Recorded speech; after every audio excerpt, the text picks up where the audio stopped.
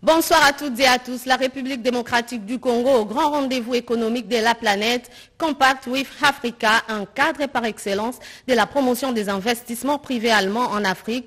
Le chef de l'État, président en exercice de l'Union africaine, prend part à ces grands rendez-vous économiques à Berlin où il va s'exprimer au nom de ses pairs.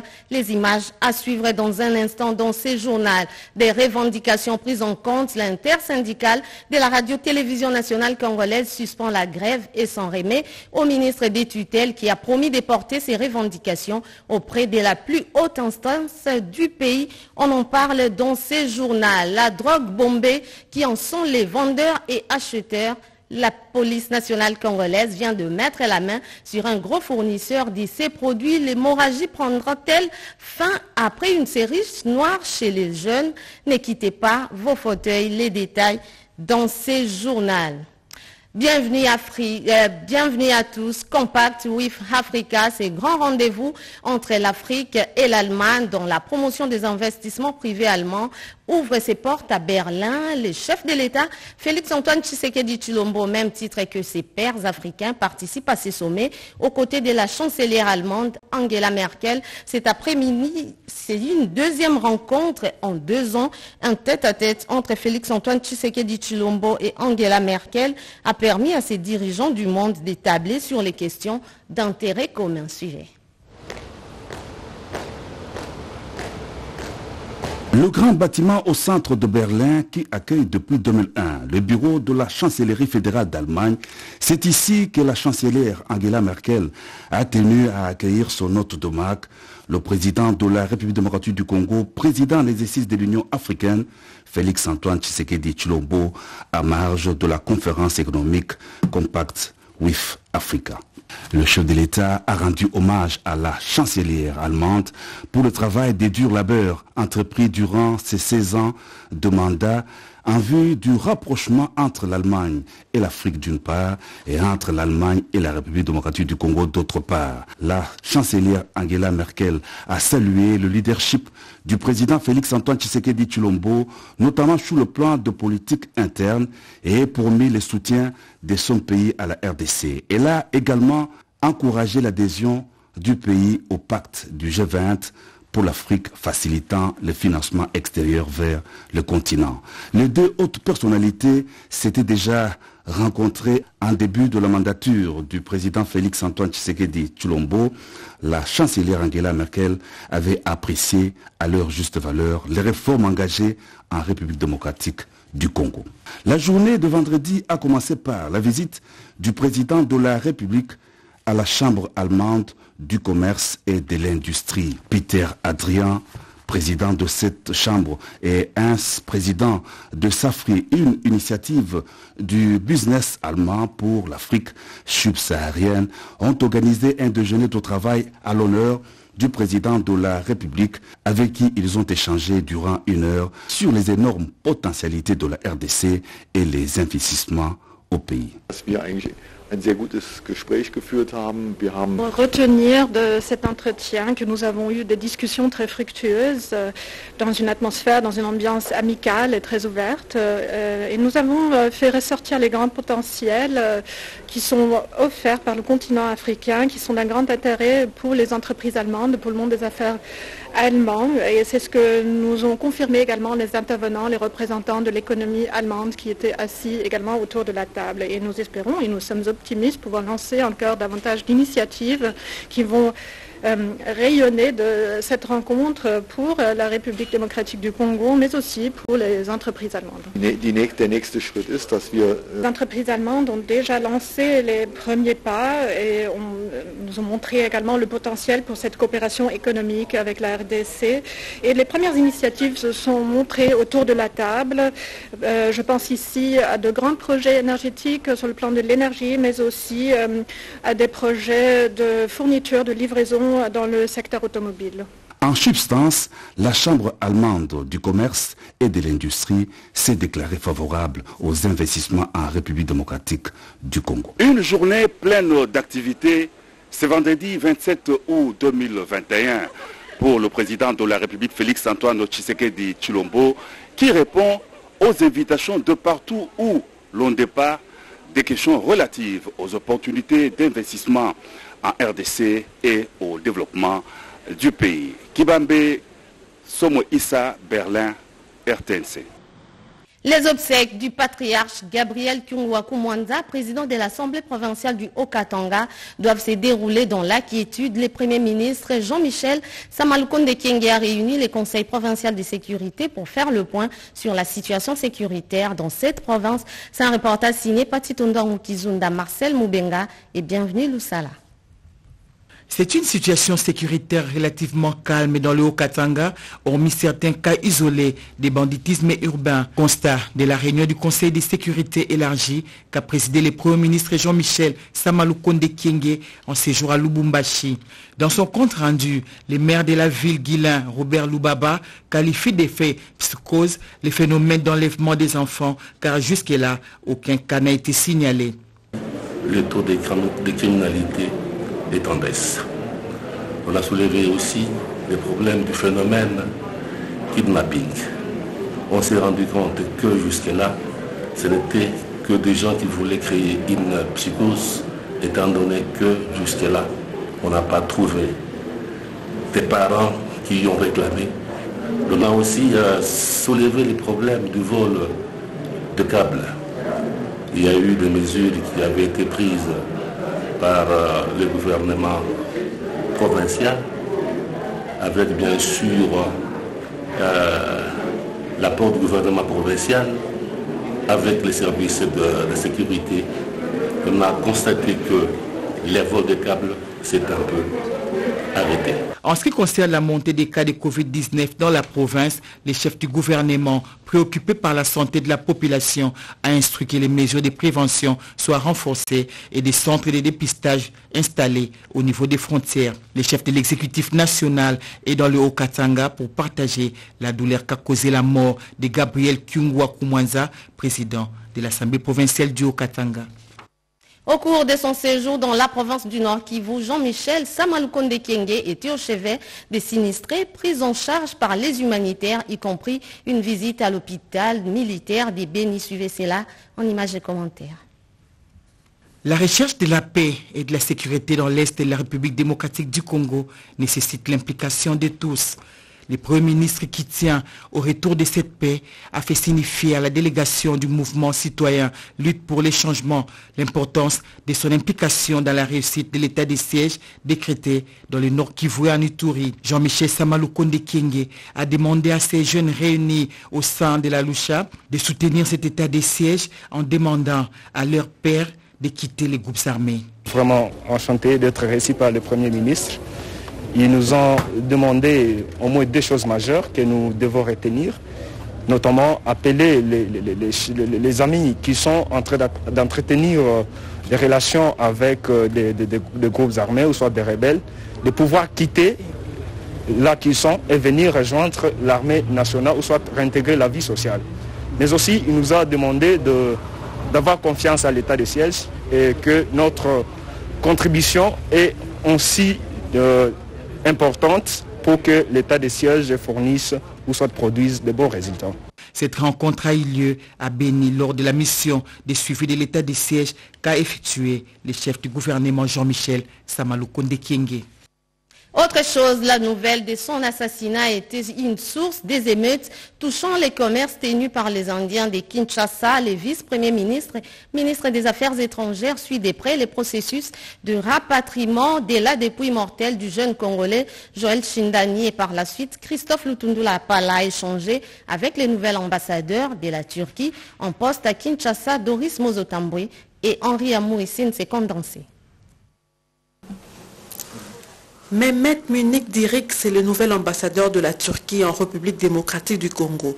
Il a pris ses fonctions le mois dernier après avoir présenté ses lettres de créance au président de la République, Félix Antoine Tshisekedi Chulombo.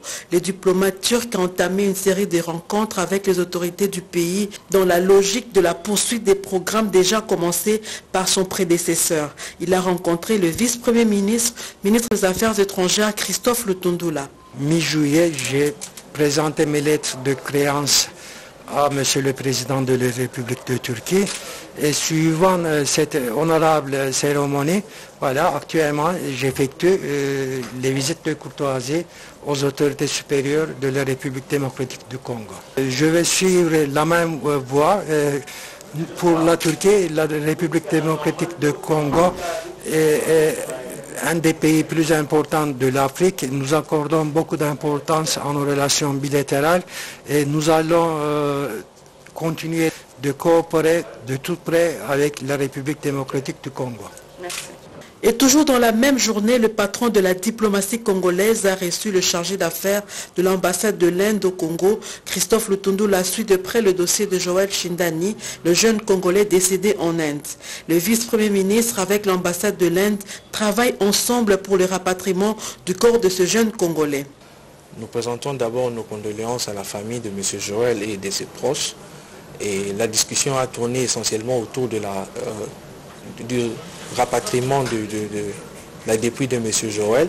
Et nous pouvons vous garantir que le gouvernement indien est en train de travailler autour de ce dossier pour pouvoir apporter toute l'assistance nécessaire de manière à ce que ce rapatriement se fasse et le plus tôt possible conformément à nos règles. Le vice-premier ministre, ministre des Affaires étrangères, est resté mobilisé comme il avait promis à la famille de Joël Chindani pour suivre le processus du rapatriement de son corps. Nord Kivu, les sinistrés du volcan de Niragongo viennent de bénéficier d'une assistance composée des vivres et non-vivres dont de l'église méthodiste unie. C'est un reportage de nos confrères de la RTNC Goma. Les ménages des sinistrés de l'éruption du volcan Niragongo du 22 mai 2021 ont bénéficié ce 21 août 2021 d'une assistance en vivres et non-vivres dont de l'église méthodiste unie au Congo-Est. La dite assistance estimée à plus de 40 tonnes était constituée du riz, de farine de maïs, l'huile végétale, du sel, du sucre, des bassins, des bidons vides, du savon de toilette et des lessives, des gobelets, des pagnes, pour ne citer que cela. 15 articles composaient cette assistance, a révélé Jean Chomba, coordonnateur des urgences au sein de l'église méthodiste unis au Congo-Est. Si souvent on n'a pas assez les paquets ou l'enveloppe qui peut euh, satisfaire tout le monde, ça veut dire c'est comme ça que nous recourons généralement euh, à des critères de vulnérabilité. La distribution a été faite à Kibati par l'administrateur du territoire de Niragongo, le commissaire supérieur principal Patrick Idumba Molengo, qui a salué cette action humanitaire de l'église méthodiste unie au Congo-Est. C'est un geste qui va tout droit Cette assistance était un ouf de soulagement à ces car selon Madame Anifa Mupenda, il n'avait plus pas encore bénéficié d'un don après l'éruption du volcan. À noter que cette assistance est le fruit d'un plaidoyer initié par Monseigneur Gabriel Kunda Yemba, représentant légal de la 81e communauté de cette église.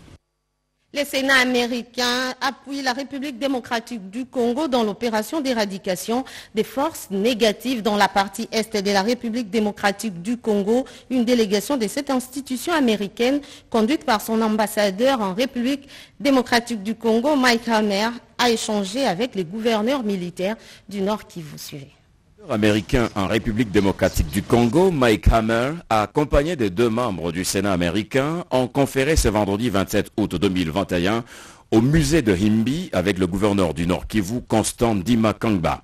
C'est dans le cadre du partenariat privilégié entre les États-Unis d'Amérique et la RDC pour promouvoir la paix et la préservation de l'environnement que le diplomate américain est venu s'imprégner de l'évolution de l'état de siège au Nord Kivu. On doit préciser, ils ne sont pas ici pour traquer euh, les ADF. Non, c'est le travail de traquer, c'est le travail de l'SFRDC et, la, avec le soutien de la MONUSCO. Mais euh, on voudrait euh, vous donner notre expérience dans la lutte contre le terrorisme et c'est à, cause de notre partenariat privilégié qu'on est dans ce dialogue et que l'équipe de forces spéciales est ici en RDC maintenant. Il a précisé que la force spéciale américaine est déjà à pied d'œuvre dans l'est du pays pour évaluer les planifications des FRDC dans la lutte contre le terrorisme, les ADF à Béni. À lui d'ajouter que cette force spéciale américaine a visité le parc de Virunga, aussi procédé à l'évaluation du travail des Rangers dans le parc. Dotation des ambulances médicalisées au secteur opérationnel Socola 1 et 2 par les gouverneurs militaires du Nord qui vous suivez. pimpins neuves de marque Land Cruiser ont été remises ce vendredi 27 août 2021 au musée de Himbi par le gouverneur du Nord Kivu, Constant Dima Kangba, au commandant des secteurs opérationnels Sokola 1 et 2. Cette dotation de deux engins médicalisés du gouvernement central de la RDC rentre dans la politique du chef de l'État, Félix Antoine Tshisekedi Chilombo, qui veut que la prise en charge des militaires soit effective à partir de lignes de front. Cela va permettre l'évacuation des non-blessés, donc du terrain vers les centres de santé ou vers les hôpitaux. Quand je disais la montée en puissance petit à petit, et c'était l'acquisition des, matériels, nous en avons quatre et nous attendons les deux autres pour les renforcer. Ils doivent euh, euh, les utiliser en bon escient, c'est-à-dire ces véhicules, ce sont des véhicules sanitaires, ça ne doit pas être dévié d'usage pour faire autre chose. Donc nos militaires en ont besoin, nos médecins en ont besoin pour euh, les évacuations des non-blessés, dont de fonds euh. C'est le commandant de la 34e région militaire, le général de brigade Gislain Chinkobo, et le commandant secteur opérationnel Sokola 2, le général de brigade Lumbu Mweu Evariste, qui ont réceptionné ces deux mobiles et promettent de les garder en bon père de famille. D'une province à une autre, quelques contrats signés avec la province de l'Itourie viennent d'être annulés et la conformité avec la loi. Ainsi en a décidé les gouverneurs militaires Johnny Luboya Kanchama. Après une brève présentation de chaque attributaire de travaux de réhabilitation de route en Ituri, il s'est avéré au cours de cette réunion d'évaluation présidée par les gouverneurs militaires de la province de l'Ituri que seules 5 sociétés sur 11 sont en ordre pour ce qui est de la passation du marché public octroyé par l'ancien gouverneur. Les députés nationaux Paul Babangou et Lidi Roumou déplorent les retards pris dans la réhabilitation des axes routiers en Ituri suite à ce qu'ils qualifient d'une mauvaise politique de passation du marché public. Vous êtes ça ignoré aussi, lorsqu'on n'a pas de bonnes routes, il n'y a pas le développement et aussi les bonnes routes euh, fait à ce que l'ennemi puisse être écarté avant que l'armée puisse mettre euh, son expertise. Inspiré de la bonne gouvernance, prôné par les commandants suprêmes des forces armées, Félix Tshisekedi Chilombo, les gouverneurs militaires, le lieutenant général Luboya Kashamadjoni a demandé aux sociétés étant en ordre de poursuivre avec la réhabilitation de routes en attendant la conclusion d'une commission qui sera mise sur pied pour faire la lumière sur ces différents contrats. On ne vous met pas dehors. On va suspendre d'abord pendant un mois, deux mois. Parce que ce que nous nous voulons, c'est quoi? C'est que les choses aillent de l'avant. C'est comme ça qu'on a organisé aussi euh, cette séance pour que au moins les gens comprennent qu'ils ne peuvent pas s'amuser avec l'argent de l'État. Et que si jamais ils s'amuseraient à s'amuser avec l'argent de l'État, ils vont le payer.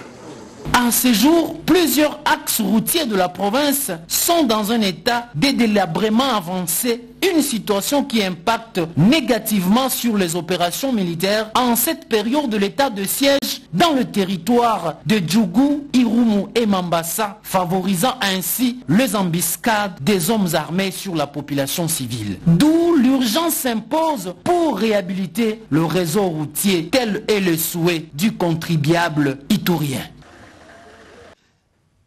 Le premier vice-président de l'Assemblée nationale, Jean-Marc Kabound Akabound, a rendu un hommage mérité au patriarche Gabriel Kyunguakumwanza à Lubumbashi, dans la province du Haut-Katanga. Un message de réconfort et consolation a été adressé à sa famille biologique et politique. Le président ad intérim de l'UDPS et premier vice-président de l'Assemblée nationale, l'honorable Jean-Marc Kabound Akabound, a conduit ce jeudi 28 août 2021 une forte délégation constituée de membres et cadres de l'UDPS, parti allié à l'UNAFEC du patriarche Gabriel Kyungwa Kumwanza, de quelques députés nationaux et autres personnalités dans la province du Haut-Katanga, en ville de Lubumbashi, en provenance de Kinshasa. Accueilli à l'aéroport de Luano par le vice gouverneur du Haut-Katanga, le haut cadre de l'UDPS ainsi que le haut cadre de membres de l'UNAFEC, l'honorable Jean-Marc Kabound Akabound et sa délégation sont venus rendre les derniers hommages au grand baoba Antoine Gabriel Kyungwa Kumwaza, l'une des figures emblématiques de l'histoire du pays. De l'aéroport à la résidence de l'illustre disparu, le premier vice-président de l'Assemblée nationale et président ad intérim de l'UDPS, l'honorable Jean-Marc Kabound Akabound, accompagné de son épouse et la délégation parlementaire, se sont rendus à la résidence de Gabriel Kyungwa Kumwanza, consoler sa veuve, la députée nationale Mireille Massango.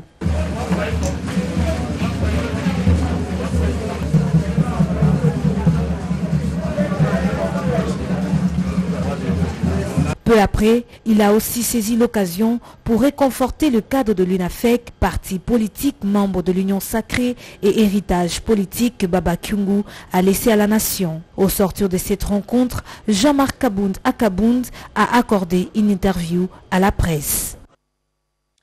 Et puis cette nouvelle, sauf changement des dernières minutes, les obsèques des feux, le président de l'Assemblée provinciale du Haut-Katanga et président du conseil d'administration de la SNCC, Gabriel Kyungwaku Mwanza, pourrait intervenir ce week-end à Lubumbashi. Suite à ces décès inopinés, plusieurs voix s'élèvent pour se joindre à la famille éplorée afin de compatir à cette douleur. C'est notamment celle de la générale des carrières et des mines à travers ses administrateurs et membres du conseil d'administration, respectivement Tambwengoy Kabongo, directeur général adjoint, et Albert Yuma Moulimbi, président du conseil d'administration, pour présenter ses condoléances les plus émues à l'Assemblée provinciale et à la province du Haut-Katanga. Un compromis a été trouvé entre les bons syndicats de la radio-télévision nationale congolaise et les ministres de la communication et des médias qui a réussi à désamorcer la bombe. L'intersyndicale de la RTNC suspend la grève. Les échanges vont tout de même se poursuivre. Le patron des médias, Patrick Mouyaya Katembouy, a promis de soumettre dans l'urgence un rapport détaillé des revendications du personnel de ces médias publics. Suivez. ya 2022 bareme ya mibale oyo ya 2022 c'est déjà acté.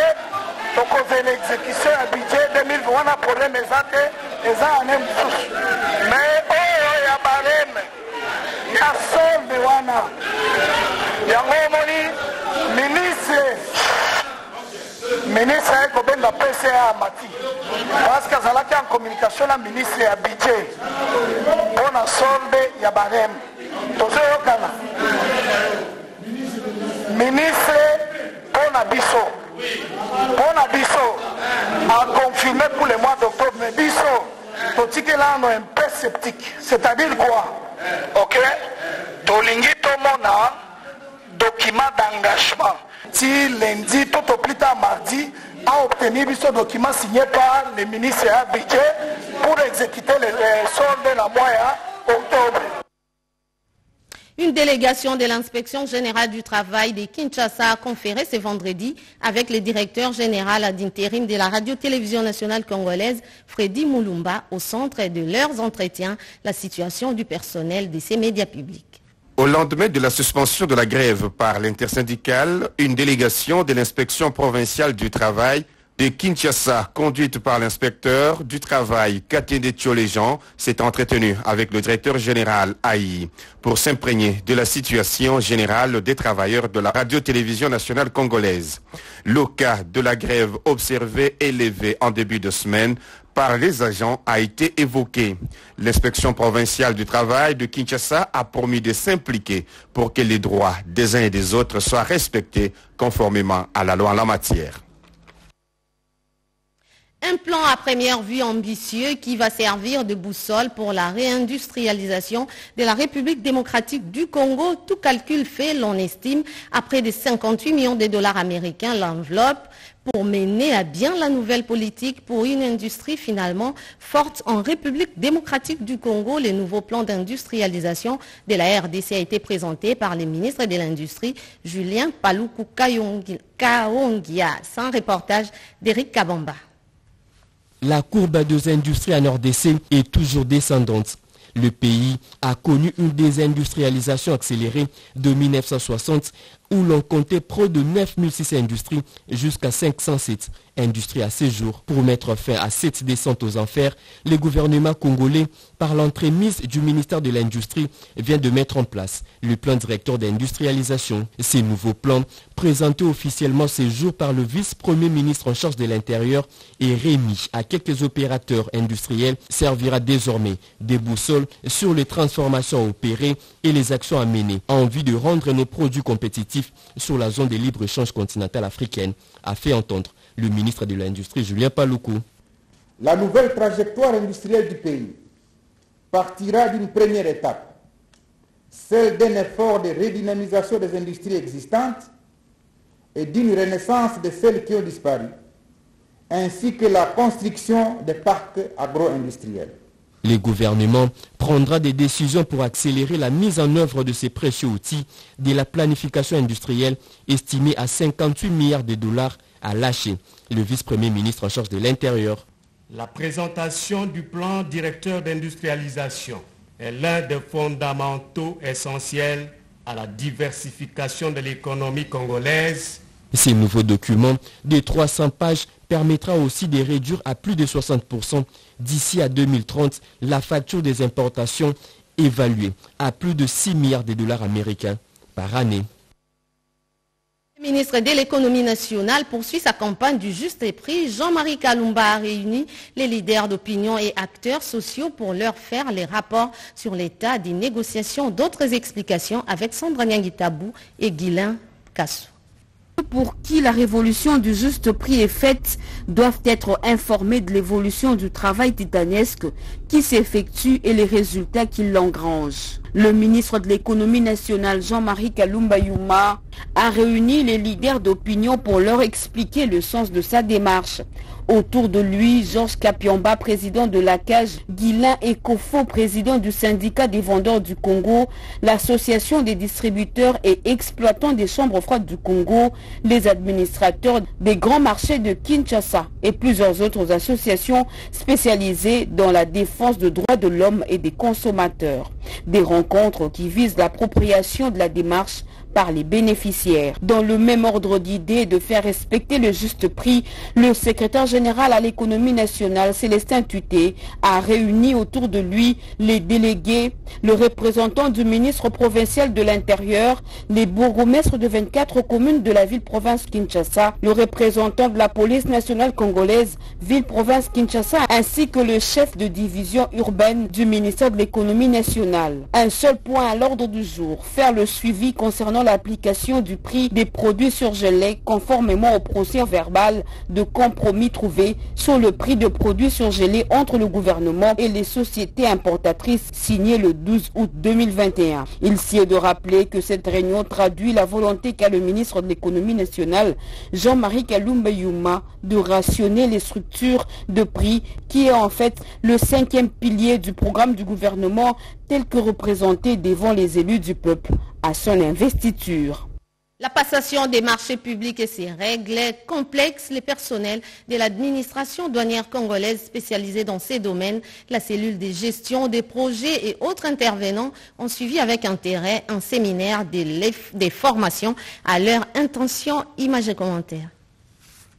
De la réalisation et du financement des projets dans le strict respect des dispositions légales, la passation des marchés se sur un certain nombre de paramètres qui ont donné la substance à l'atelier des formations de membres de la commission de l'administration douanière congolaise spécialisée dans le dossier du secrétariat permanent de la cellule de gestion de projets ainsi que quelques responsables des directions et autres intervenants dans ces secteurs. Tenu sous la supervision du directeur général de la DGDA.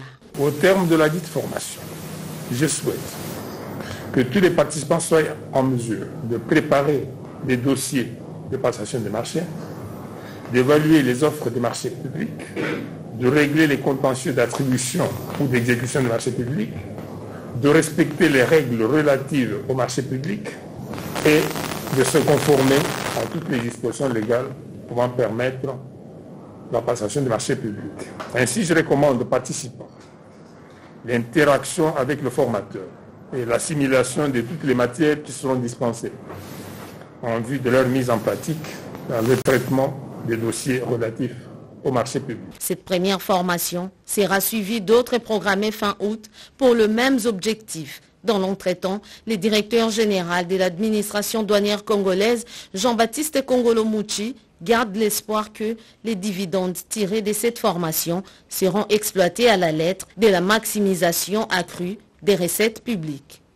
Et puis ces communiqués de presse avant de poursuivre ce journal de l'inspection générale des finances, l'inspecteur général des finances, chef des services Jules Alingeteke, il tient à attirer l'attention de l'opinion nationale qui a un groupe d'escrocs qui utilise son nom pour tenter de soutirer de l'argent auprès des gestionnaires en utilisant certains numéros de téléphone, notamment plus 243 82 95 65 988. Il demande à tous les gestionnaires de ne jamais faire confiance à de telles sollicitations qui ne peuvent jamais venir de sa part. Fait à Kinshasa le 27 août 2021 pour le service de communication de l'IGF à Po-IPAN. Fin moratoire aux occupants de tous les bâtiments de la CNCS, nous dit Joseph Oscar Mbalkaïch. La Caisse nationale de sécurité sociale porte à la connaissance de tous les employeurs qu'elle procédera à partir du mois de septembre 2021 à un contrôle systématique pour vérifier la régularité, l'exactitude et la conformité des déclarations et des versements des cotisations sociales des périodes concernées. Ce contrôle bénéficiera du concours de certains services de l'État qui auront la charge de constater les infractions commises par les employeurs et de faire appliquer les sanctions prévues, notamment pour non-versement ou pour minoration des cotisations sociales, conformément aux dispositions des articles 128 et suivant la loi numéro 16-009 du 15 juillet 2016 fixant les règles relatives au régime général de sécurité sociale. À l'occasion de ces opérations de contrôle, des redressements assortis de pénalités pourront être effectués conformément aux dispositions légales et réglementaires pertinentes. La Direction générale de la CNSS exhorte d'ores et déjà les employeurs à régulariser leur situation auprès des centres de gestion de leurs ressorts respectifs pour éviter les désagréments qui pourraient résulter de ces contrôles. Elle rappelle en outre que les non-versements ou la minoration des cotisations sociales causent d'énormes préjudices aux travailleurs qui ne peuvent bénéficier de leurs allocations familiales ainsi que d'autres prestations adéquates au moment de leur retraite. Ces communiqués de presse portent la signature du docteur Jean-Simon Foutikakou. L'aéroport national de Ndolo, de nouveau envahi par des constructions anarchiques, l'on se souvient encore du drame du marché Tipka qui a jeté les pays dans le mois. Le nouveau directeur général de la régie de voies aériennes s'est rendu sur place. Anim Balaka était dans sa suite. Visite est symbolique et significative pour le nouveau patron de la régie des voies aériennes qui fait de la sécurité des aéroports de la RDC son cheval des batailles. Premier aéroport de la RDC, Ndolo a une histoire liée à la catastrophe aérienne du type K. Alphonse Chungu dont le souvenir de ces crashs est encore vivant dans sa mémoire, veut non seulement remettre des conditions optimales de sécurité, mais aussi numériser et digitaliser cet aéroport très stratégique pour la ville de Kinshasa. Il y a donc urgence que l'État prenne des mesures pour sécuriser ces aéroports. Si on remet la piste en état, on va accueillir encore plus donc des, petits avions légers, de maximum 15 tonnes. On peut ramener encore du flux. Donc s'il y a du flux, c'est-à-dire aussi c'est de l'argent qui va rentrer à la RVA. Il y a un problème sérieux qui se pose aussi au niveau donc de tous ces aéroports, c'est la spoliation. La spoliation donc du patrimoine foncier donc de la RVA Face à la dégradation des équipements de la tour de contrôle et du local technique de l'aéroport national d'Endolo datant de 1974, le directeur général Alphonse Chungu Maungu s'est félicité de savoir que ces derniers ont été pris en compte dans la deuxième phase du projet prioritaire de sécurité aérienne. Dans peu de temps donc, les 10 équipements seront remis à neuf. Je le disais dans les titres, c'est une tragédie qui risque de compromettre l'avenir de la jeunesse du pays. Tenez-vous bien, une centaine de personnes, dont 20 femmes, sous les verrous accusées de se lancer dans les commerces de la nouvelle drogue bombée avant d'être déférées devant leur juge nature. Ces présumés coupables sont entre les mains de la police nationale congolaise, nous dit Lopez Kakouba. Depuis un certain temps, il est observé une consommation abusive et excessive des drogues telles que les bombés, les capas, la cocaïne, les datura, communément appelés 33 tours, 36 graines ou 36 oiseaux à l'étranger appelés aussi herbe du diable ou trompette de la mort par des jeunes gens, principalement des mineurs, à travers la ville-province de Kinshasa. Le commissaire provincial de la police ville de Kinshasa, le général Silvano Kassongo Kitenge, explique.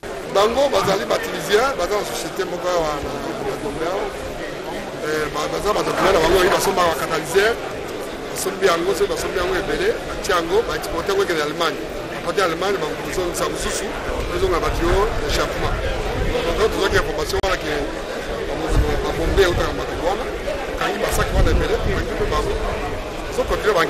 Après l'interpellation par la police nationale congolaise ville de Kinshasa, les consommateurs et les vendeurs de ces différentes drogues ont été présentés au gouverneur de la ville-province Kinshasa, Gentini Ngobila Mbaka. baproblème ya drogue na kati ya engumba kinshasa. Eza baproblème moko ya pasi mpe ya mawa. Mpona koregle baproblème esengi topesa réponse moko ya makasi. Parce que consommation usage ya drogue eza na origine. Yango nde eza kobebisa mboka. Drogue eza kotinda bana na baleki na biso bakóma bakulunu drogue eza kotinda bana na baleki bakóma miyibi baassassin drogue eza kobebisa sante ya bana. Na ya baleki. Drogue eza kokomisa moto liboma. C'est-à-dire so tosali keba te na kati na mboka na biso surtout drogue babengi bombe ezali kokomisa bana na biso maboma eske ezali kama malamu? Mpo na yango nabandi ezala bino badiler c'est-à-dire bato boza koteka drogue. Oyo babengi bombe na misusu cocaïne. Na baye oyo bazomela yango boza obeni ndenge nini surtout bino bato oyo boza komerite kokende kosala bilanga kati ya makasisi Disons, au cours de cette première opération, quelques marginaux ont été interpellés, soit au total 97, dont 20 femmes, le 26 août 2021. Tradition respectée, les membres du gouvernement se sont réunis ce vendredi par visioconférence autour du Premier ministre Jean-Michel Samaloukonde Kienge. La situation générale du pays au menu de cette réunion, d'autres détails spécifiques avec les ministres de la Communication et des Médias, porte-parole du gouvernement Patrick Mouyaya Katembo juste après. Ce journal, un communiqué des presse, la régie des OSA, direction provinciale de Kinshasa, informe ses abonnés de la partie sud-ouest de la ville que son usine de traitement d'eau potable de Lukaea est en arrêt depuis hier, jeudi 26 août 2021 à 17h suite à un accident survenu sur sa ligne SNEL qui alimente l'usine. Par conséquent, une interruption dans la fourniture d'eau est observée dans les quartiers ci-après Kimbondo, Sebo, Cité Pumbu, Cité Mama Mobutu, Cité Verte, Dumez, Matadi Mayo, Matadi Kibala, Kambadia Dingi, Masangambila, Monkole, Mongafula, commune Engafani, la régie des eaux, a pris les abonnés concernés de bien vouloir l'excuser pour ces désagréments indépendamment de sa volonté et les rassure du rétablissement de la desserte dès la fin des travaux SNEL qui sont en cours faits à Kinshasa le 27 août 2021. Le directeur provincial de Kinshasa, ingénieur Jean Bosco Moana Indele qui a signé ces communiqués. Puis les recommandations du Conseil supérieur de l'audiovisuel et de la communication du 11 août 2021 relatives aux agressions verbales, incitation à la haine tribale, raciale ou religieuse, ainsi qu'à la violence à travers les médias. L'Assemblée plénière du Conseil supérieur de l'audiovisuel et de la communication siégeant en sa 109e session extraordinaire du 11 août 2021 à Kinshasa, capitale de la République démocratique du Congo, considérant les nombreux rapports du Centre de monitoring des médias congolais ainsi que les inquiétudes de l'opinion publique sur l'escalade actuelle des agressions verbales et incitations diverses des acteurs politiques et sociaux à travers les médias audiovisuels et en ligne attendu que ces agressions verbales et incitations diverses sont des natures à mettre en péril la cohésion nationale et la paix sociale et provoquent déjà des actes de violence dans certaines parties du pays, vu la nécessité et l'urgence euh, recommande aux médias audiovisuels et en ligne de ne pas diffuser ou poster les discours ou débats comportant des agressions verbales et incitations diverses d'interrompre la diffusion de toute émission en direct comportant des agressions verbales et incitations diverses aux professionnels des médias de préparer suffisamment leurs invités avant les débuts de chaque émission à la radio et à la télévision conformément aux us et coutumes professionnels et de les recadrer pendant les émissions au respect strict de loi de la République et du Code de bonne conduite pour les partis et acteurs politiques d'éviter d'inspirer et d'accompagner les invités dans la digression d'agressions verbales et autres incitations à caractère politique de conduire les émissions avec professionnalisme. Aux organisations professionnelles des médias, l'encadrement efficient des professionnels des médias dans l'observance du code d'éthique et de déontologie en vue de la sauvegarde et de la promotion des valeurs républicaines aux acteurs politiques et sociaux de s'interdire des agissements et des propos susceptibles d'agressions verbales et autres incitations à travers les médias faits à Kinshasa le 27 août 2021 pour l'Assemblée plénière, les rapporteurs Chantal Kanimbo Manyonga, le président Christophe Tito Ndombi. Un communiqué nécrologique avant de boucler complètement ce journal. Les généraux des brigades magistrats Chiankolo et Sosamase, les Jean Paulin, conseillers à la haute cour militaire et la famille Bosso Talambwe, Chiankolo, Nkumu et Sosa, Bolikango, Bambou, ont les profonds regrets d'annoncer aux sœurs, frères, amis et connaissances les décès de leur fils Chimbombomuku Manassé Manamana, survenu le vendredi 20 août 2021 au centre hospitalier émeraude du quartier et commune de Lantielé. L'enterrement aura lieu au cimetière de Kinkole Kimbanguiste le mardi 31 août 2021 immédiatement après la levée du corps à la morgue de l'hôpital militaire central Kankokolo dans le strict respect des mesures barrières édictées par les autorités gouvernementales pour lutter contre la Covid-19. Les doléances à la famille peuvent être présentées à la résidence familiale de la cité Salongo Sud Villa, numéro B3J 603. Pour autre information utile, prière d'appeler au téléphone 081 82 23 49 fait à Kinshasa le mardi 27 août 2021 pour la famille Tchankolo et Samassé, les Jean Paulin, général des brigades. Fin de ce journal, Madame, Messieurs. Merci à vous de l'avoir suivi. Serge Merlin Matin revient à 23h pour la suite de l'actualité. Au.